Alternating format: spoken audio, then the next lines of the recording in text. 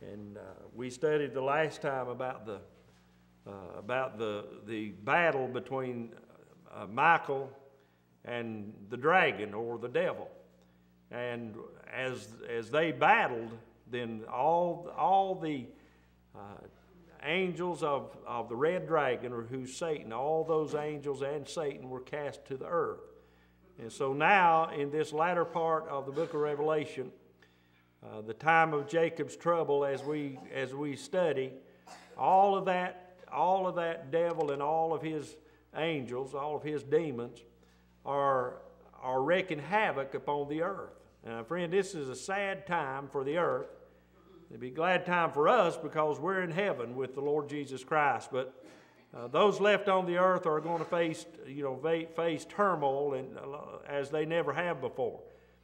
And I begin reading chapter number 13. Now, chapter number 13, number 13 is the number of ill omen, and it just, you know, the when the scriptures were inspired, they weren't broken down uh, into chapter and verse. That was done by the translators. Uh, but this chapter being a chapter that, that describes the uh, the Antichrist and, and the false worshippers and those dealings all fall under this chapter 13. I thought that kind of interesting that it would fall in this chapter, being the number 13 is the uh, number of ill omen in the scripture. But we see here a what John sees and what he's been, you know, what he's been seeing here for the last little bit as we've noticed his vision. And we'll see that. Let's go to the Lord in prayer and, cha- and then we'll begin chapter number 13. Father, we thank you, Lord, for this opportunity to gather in the house of God. Lord, we thank you for this privilege, Lord, to worship Thee. Lord, we thank you for your help and your blessing in the morning service. I pray right now, Lord, that you'd help us tonight. I pray, God, the Spirit of God would speak through us. Lord, let us say nothing contrary to thy will, but all we'd say would be to the glory of God. And I pray, God, give us a clarity of thought and understanding tonight. We'll thank you in Jesus' name. Amen. Amen. So I'm just going to kind of read through this again and we'll we'll pause and stop and, and uh, make mention of, of, uh, what, you know, what the Bible says here concerning these things. Now, uh, if you, when you get home, if you'll turn to Daniel chapter number 7, uh, you'll, this will shed some light on, on uh, chapter number 13 because Daniel sees this vision in Daniel chapter number 7. But we find here its fulfillment in, in Daniel or in Revelation chapter number 13. And as he, John, John said, and, and I stood upon the sand of the sea. Now you picture yourself where John is on the, on the sand of the sea. Now that's, that's what he's like. He's looking out over a, a sea. Now, some folks say this is a sea of people that he's looking out over. The sea represents the vast numbers of people that are still on earth. And so as he stands looking upon uh, at the sea, he saw, he says, and, and saw a beast rise up out of the sea having seven heads. Now, you imagine this beast in your mind. Now, we're capable of an imagination. If you think about it, uh, we can, our, our imagination can do all kinds of things. And, uh, you know, when I was a kid, I had an imaginary friend. And uh, my imagine, and strange enough to say, his name was, was James. And I don't know if that's got anything to do with James Green or not. I don't reckon. Uh, but, but my daddy's name was James also. But my imaginary friend was James and he went wherever I did. Now, my, in my imagination, James was my buddy. And uh, I, I, grew up, uh, most kids around me, when, when I was that young, were older. I had some, uh, you know, some friends moved in later, but most of the friends were older than me. And so uh, my friend was an imaginary, but wherever I went, he went. See, your imagination can imagine a lot of things. We used to go out and play cowboys and Indians, and we just imagine all kinds of things. So you can use your imagination. So you use your imagination right now and put yourself in the thought of John standing there on the, on the sea, looking out over the sea. And as he stands there on the sand, he sees out of the sea a beast a rise up out of the sea that has seven heads. Now, that's a, that is a, uh, a terrible thing to look at, you would think. Seven headed beast rising up out of the sea. And on these seven heads are ten crowns, he says, having seven heads and ten horns and upon his horns ten crowns, and upon his heads the name of blasphemy. Now, what are these? Uh, you know, what what are these ten uh, heads, and what are these? Are these ten uh, horns uh, upon them? All of this points to a a a rule a horn is, is uh, suggests power, and all of this is, is leading up to the, uh, you know, to the picture of a, a one world religion or a one world government. That's what this is all pointing to, a one world government. The, we see here that in, in verse 2 and the beast which I saw was likened to a leopard, and uh, likened to a leopard, and his feet were as feet of a bear, and his mouth of the mouth of a lion, and the dragon gave his power and his seat and great authority. So out of the sea rises a beast that, uh, you know, that represents the government that's going to be on this earth during the tribulation, uh, during the tribulation time. These ten horns are, are, you read in Daniel chapter number seven, and they represent a, a, a ten world power. Uh, the old Babylonian power. Now, these, these animals suggest those powers that were in, in rule before the Roman Empire began. You got to go way back in history. Uh, but before the Roman, and then the Roman Empire was put to death. And I'll, re, I'll get to that in just a moment. But the Roman Empire was, had died. But all since the time of the, of the, the fall of the Roman Empire, there has been uh, a remnant of all of that, and there's been segments of all of that throughout time. Now, the, the old, ba- the old uh, Babylonian Roman Empire is going to rise up in the last day, and that'll be after uh, that we're out here. I believe it's probably in place now, uh, but that old empire is going to rise up, and that'll be 10 nations bound together, and, and they will have world power. Now, those, that, they are going to be working hand in hand with the Antichrist. And friend, it's going to be it's going to be a, a terrible, horrible day when that happens. So uh, the leopard and the and and that's that represents the kingdoms coming up. Uh, you know, to the last uh, Babylonian Empire, the the dragon. Who's the dragon? That red dragon. He's the Antichrist. He's Satan incarnate in the flesh. That's who the Antichrist is. As Jesus came as a man, and uh, Christ came in, in, in the flesh, then so is the devil going to come in flesh. He is an imitator of, of uh, Christ, and he is going to have power. Uh, he's going to have significant power, not like the power of God, but he is going to have power that he'll be able to, to deceive the whole world. Now, and I saw one of his heads as it were wounded to death, and his deadly wound was healed, and all the world wondered after the beast. Now, this deadly wound is the, it points back to the fall of the Babylonian Empire, to fall of the Roman Empire. And as it fell, as that the empire fell, uh, it, it, was said it was put to death or it was wounded. But guess what? It's going to be resurrected. And when it is resurrected, there'll be 10 kingdoms that come together and they're going to rule. They're going to, they're going to have great uh, power upon the earth. But they're, all, all of that uh, runs hand in hand with this next beast we'll look at in just a minute. And, and it all goes hand in hand to try to rule the world with a, you know, with a, a, strong, with a strong hand.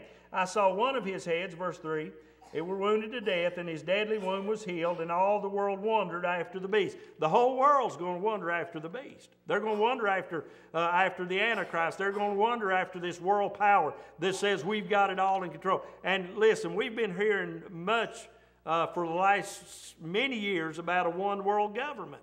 Well, that's what this is talking about a one world government with a leader that says, I've got all the answers. I can, I can do everything that needs doing here.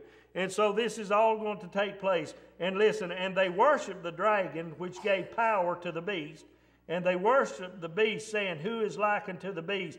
Who is able to make war with him? And all ten kingdoms, all with all the power that they uh, have that is given to them by the devil, and it's going to rise up in, in the last day. Now, friend, it, will be, it's going to be a horrible time. More persecution is going to be on those 144,000 which God has got His seal upon, and the believers that uh, you know that believe in that day, and they're all going to be uh, uh persecuted by this one because they're not going to fall in line with Him.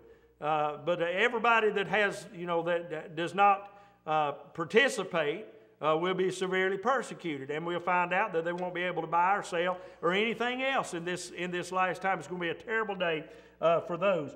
And uh, verse five, and uh, there was given unto him a mouth speaking great things, and blasphemies, and power was given unto him to continue forty and two months. Uh, that's the last half of the tribulation. That's the time of Jacob's trouble. And he opened his mouth and blasphemed against God to blaspheme his name and his tabernacle and them that dwell in heaven. So uh, he has nothing but, uh, but uh, evil and wicked things to say about God. And, and so he issues and spews from his uh, wicked mouth the blasphemies against God and, and uh, uh, any imaginable thing that you can say uh, against God, this man is going to do. This, uh, th- these kingdoms are going to do, and this man is going to do.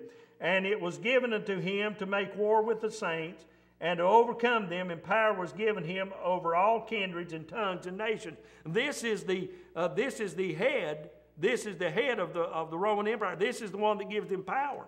It's the beast, it's the devil, the Antichrist, and he's going to come along, and uh, you know everybody's going to look at him and say, "Oh my, what a man! Look what he can do!" And he is going to have power. Let's read on. And all that dwell upon the earth shall worship him, whose names are not written in the book of life of the Lamb slain from the foundation of the world. Everybody is going to worship him.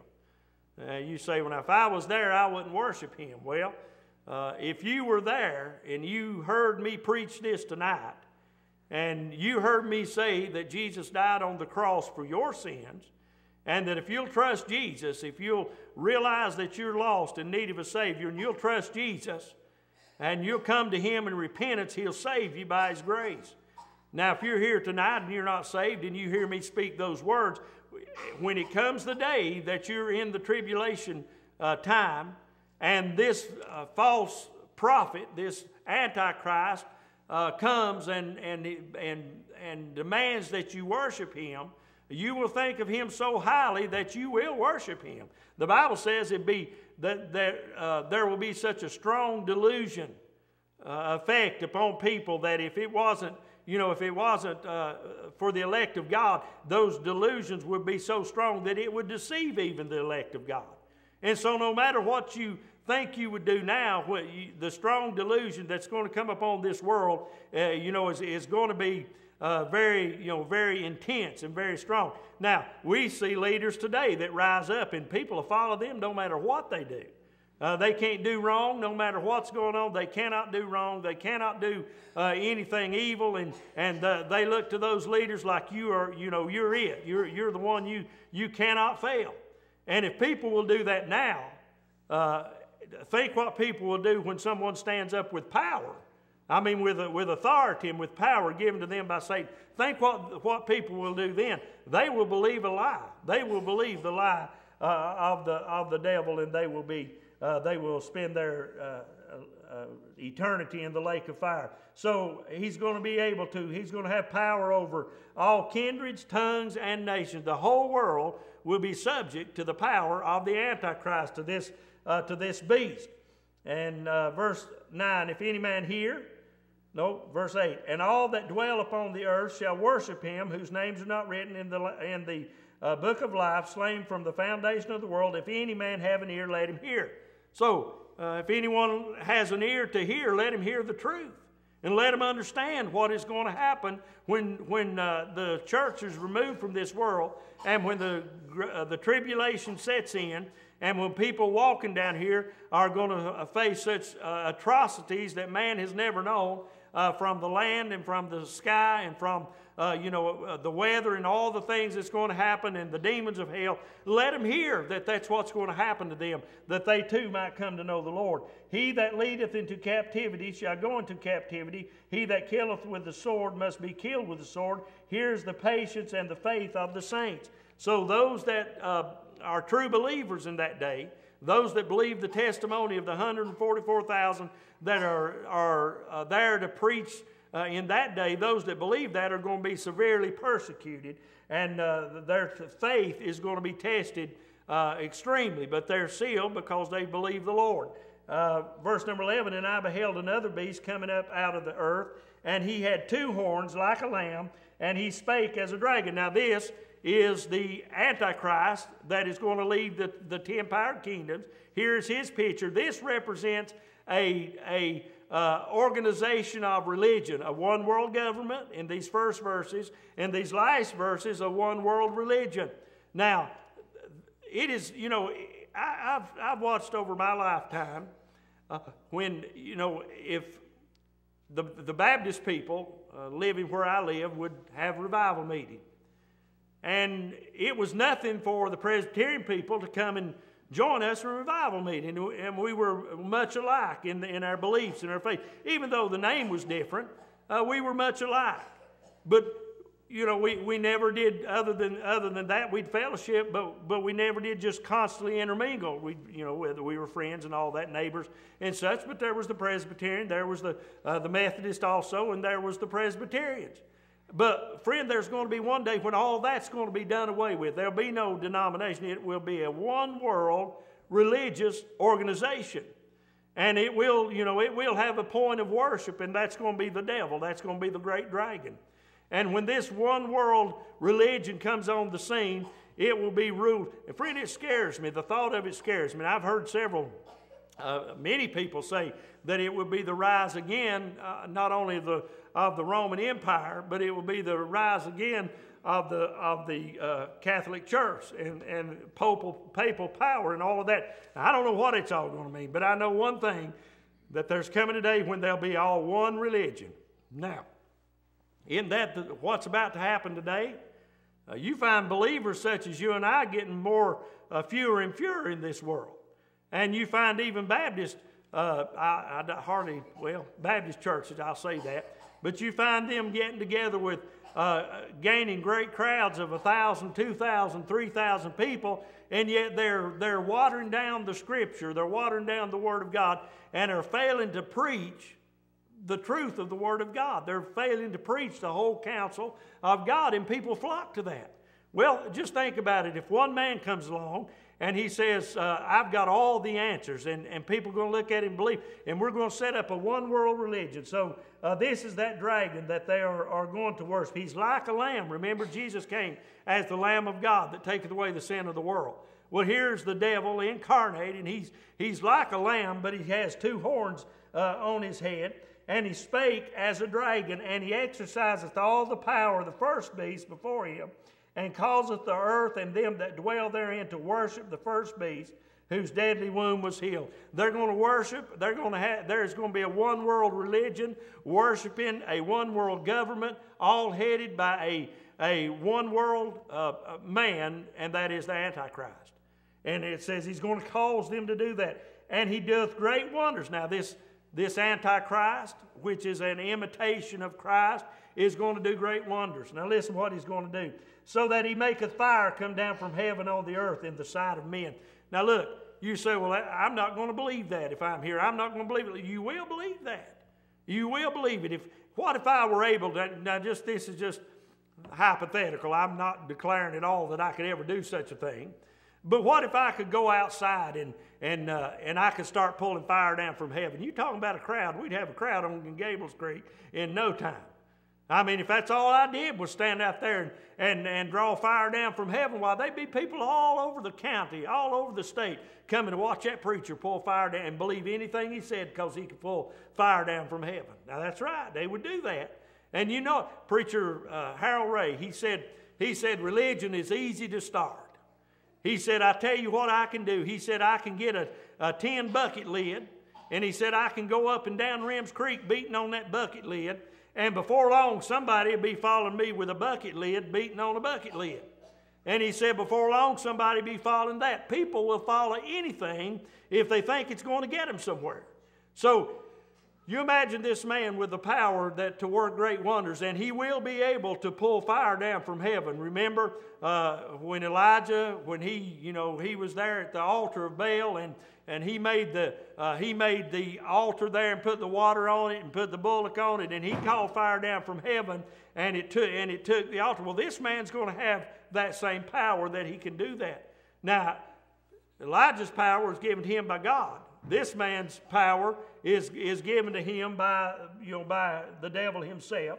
And so he does great wonders, pulls fire down from heaven so that men can see in the sight of men.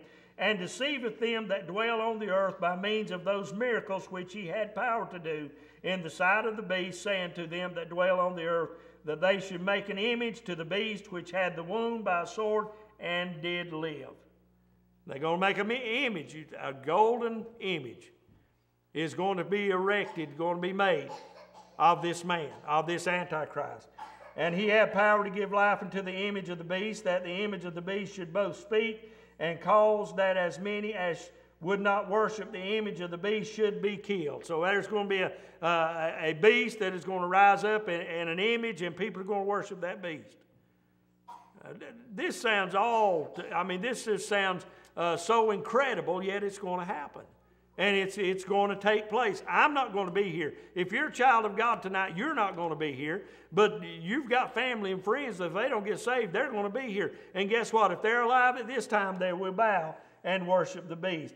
And he calls us all, both small and great, rich and poor, free, uh, free and bond, to receive a mark in their right hand or in their foreheads, and that no man might buy or sell save he had that mark or the name of the beast or the number of of his name. Here is wisdom. Let him that he hath understanding count the number of the beast, for it is the number of a man, and his number is six hundred three score and six. So enters the uh, the six six six number, and that is the mark of the beast. Now listen, everybody will receive that mark of the beast if they are not if they're not saved uh, in this period of time. Everybody's going to receive it. You say, preacher, I won't receive it. Listen, you're here tonight, you're hearing the gospel. And if you're, you know, if you happen to be listening to this on the on the internet as we preach tonight and you're hearing this and you don't accept Christ as your Savior, to tell you what's going to happen to you.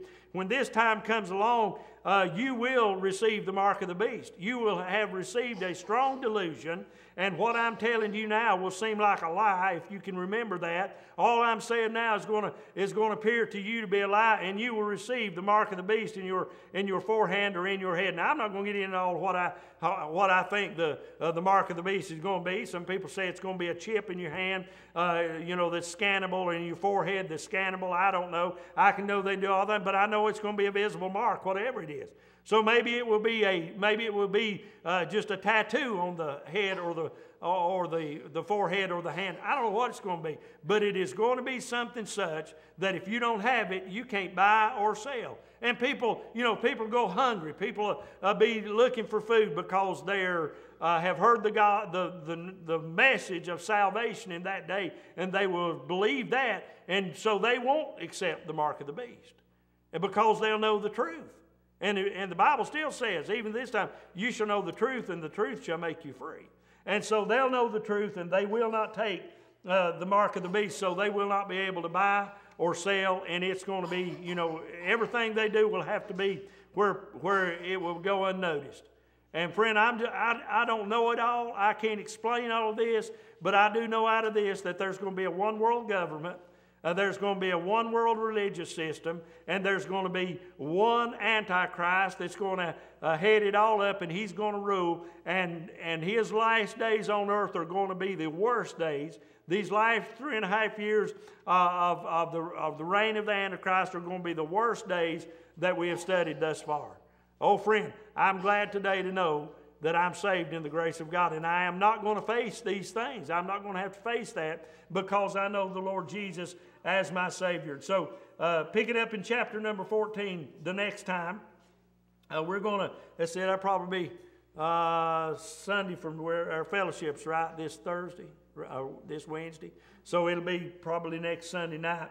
And we'll discuss the lamb and the 144,000 that were sealed. And then uh, after that, as we proceed on in chapter number 15, we see the seven last plagues uh, as the bowls of the wrath of God are poured out upon this, upon this world. Friend, if you're not saved, I urge you to understand that you're not that you've never accepted Christ as your Savior, you've never been lost, and call on the Lord Jesus if He touches your heart, and if you feel convicted, and if you feel like you know you need to get saved, call on Jesus, and He'll save you by His grace. Father, we thank you for the Word of God tonight.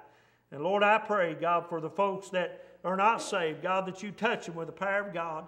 Lord, send old time Holy Ghost conviction upon them that they might realize their lost condition and Lord, realize that they must be born again before it's too late. Father, we feel that certain it's close to when you come back and get us and rapture the church out. And God, I pray that you'd help us to be faithful to you. God, I pray that you'd help us to be a witness for you, Lord, while we're here. And God, I pray that, uh, Lord, those again, Lord, that are lost, you touch them that they might be saved. Lord, we'll thank you and praise you in Jesus' name. Amen. Amen. All